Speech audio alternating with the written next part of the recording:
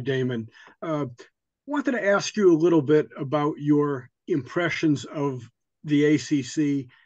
It's it's unusual that a new head coach in the league has really no connection to the league as a player or a coach previously. And I just wonder what you know what you've thought about the league now that you've been you know uh, about a third of the season through it.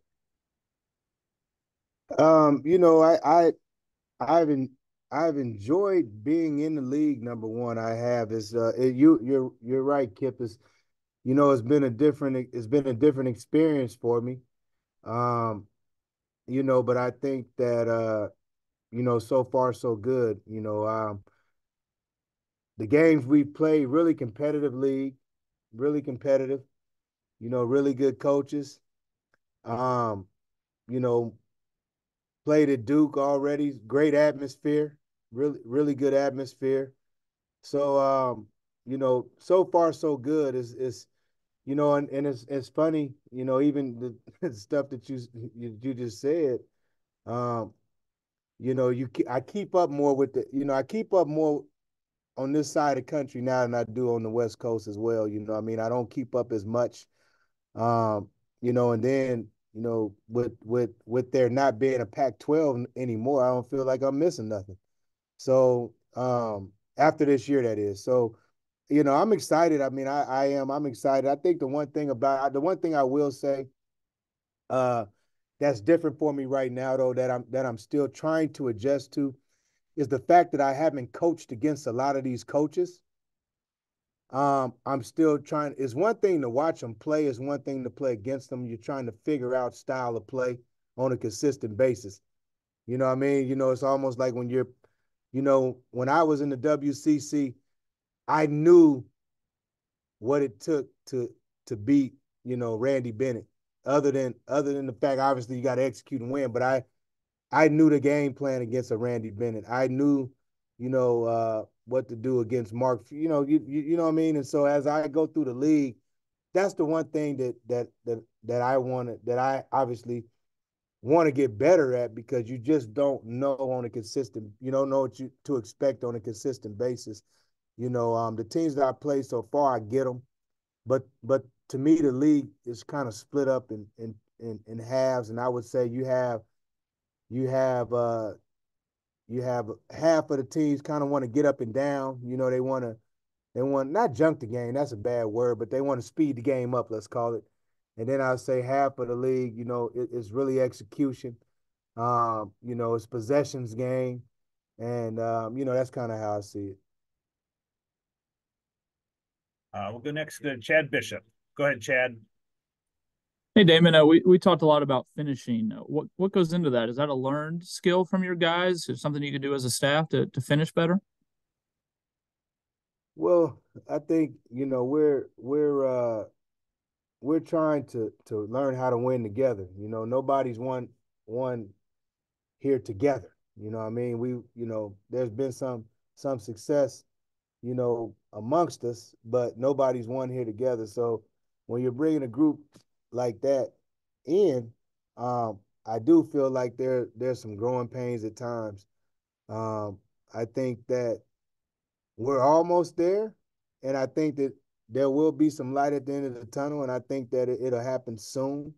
Um, I am excited about the the way that we've been able to uh, to really compete and kind of hold our own, so to speak. But we have to do it again. We do. We got to do a better job of closing.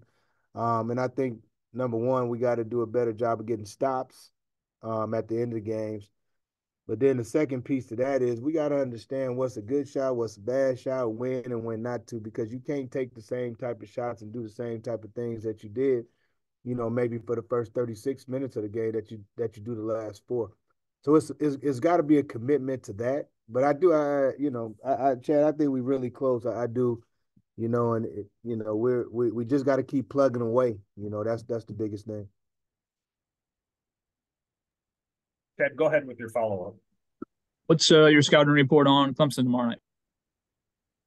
Really physical team, man. You know that's that's the thing that stands out with me. Um, physical, um, veterans. You know they got an older crew. and um, we got to be really, we got to be really ready to to uh, match their physicality. Um, obviously, they got Hall. He's a really good player. Uh, you know, it starts with him. Um, you know, their guards are some of the best in the league. Um, he uh, you know really shoots the ball. You can't you know you can't give him too much airspace. Um, and and and lately we've had a difficult time of trying to contain guards like that. But um, the physicality of, of the game is is what stands out with me. I watched them play against North Carolina, and I'm starting to think, man, what I, these little knick-knack calls we be getting in our games. I'm like, I don't know how they calling them, man. I was watching that was a, that was a man. That looked that that looked like the old NWA. That looked like that looked like a it looked like a heavyweight heavyweight uh heavyweight uh wrestling match right there, boy, between you know Hall and and uh Bacot, and I mean, so you know, just just you know, again, what's what stood out in, with me on the initial was just man the physicality of the game, and we got to match that, you know, uh, in order to be successful on Tuesday evening. Uh, we'll go back to Kip Coons. Yeah, uh, Damon, I uh, wanted to ask you about uh, the matchup. You mentioned PJ Hall already. Uh, I'm assuming that uh, you'll you'll have Ndongo on him uh, pretty much a, a, lot. What have you liked about his progress uh, as a freshman so far?